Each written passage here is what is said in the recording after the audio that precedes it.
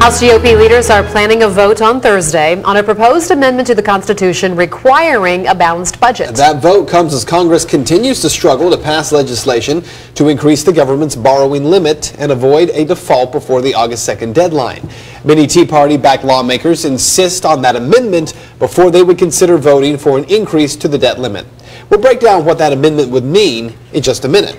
Despite President Obama's appeal for a compromise, Democrats and Republicans continue to push ahead with their competing plans. So let's take a look at them. The Republican plan, unveiled by House Speaker John Boehner, would impose 1.2 trillion dollars in cuts to domestic agencies over the next decade. It also raises the debt ceiling by a trillion dollars in two phases, one to fund the government through this year, another to allow the government to pay its bills starting in January.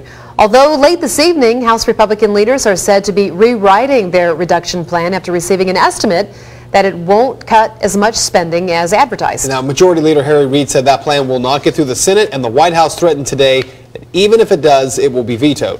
On the flip side, the White House is getting behind a proposal by Harry Reid, which cuts $2.7 trillion. The plan does not include any new tax revenue, despite what President Obama has demanded, including as recently as last night.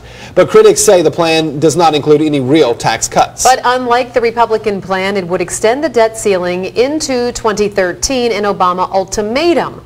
In Fox 19's Commitment to Balance News, here both men defend their respective plans. In short, it's everything Republicans have demanded wrapped up in a bow and delivered to their door. But now Republicans say their demands, which have been met in full, aren't enough. The president's looking for a blank check. Uh, we have a bill that uh, is a reasonable approach, uh, negotiated with the Senate leadership, uh, that really is common sense.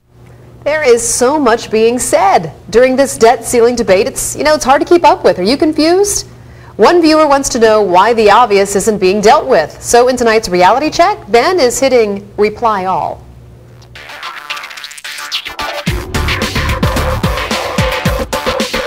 Reply all simply means instead of just responding to one viewer at a time, Reality Check will share our reply with everyone. So here was the question. Glenn Sterling of Villa Hill says, all this debate, bickering, and proselytizing over the budget and the debt ceiling, yet the simple and logical solution to preventing this from happening again seems to be getting lost in the fog. A balanced budget amendment. How could anyone with even a modicum of financial common sense be opposed to this?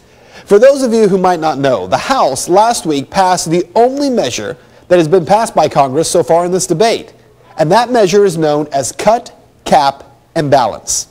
Cut, cap, and balance would allow the feds to have their $2.7 trillion increase they're asking for while making, one, cuts, substantial cuts in spending that will reduce the deficit next year and each year after that for at least 10 years. For the year 2012, it would have cut spending by $111 billion in future spending. Two, cap enforceable spending caps that tie how much the feds can spend to how much tax revenue is being taken in. So the bill would have capped future spending at 18% of GDP, or our gro nation's gross domestic product. And then three, balance. Congressional passage of a balanced budget amendment to the U.S. Constitution, but only if it includes both a spending limitation and a supermajority or a two-thirds vote for raising taxes, in addition to balancing revenues and expenses. That is cut, cap and balance. But after making it through the House, the measure died in the Senate when it was tabled. Today, there's talk that Republicans will now bring back and push again for a vote on a balanced budget amendment, which, if it were to happen, by the way, it would take at least seven years to work its way through the states because each state has to vote on it.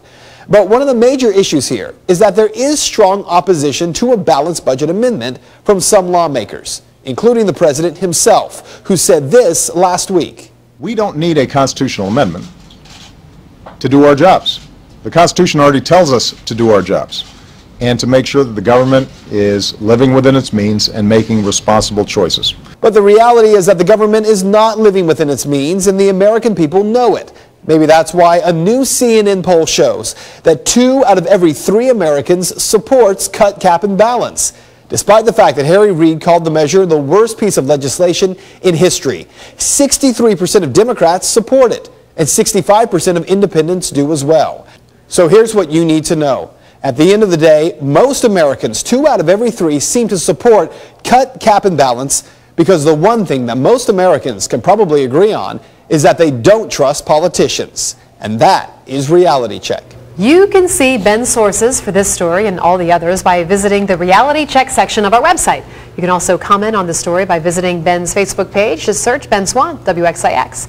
We'd also like to hear your thoughts on the debt ceiling debate and the balanced budget amendment.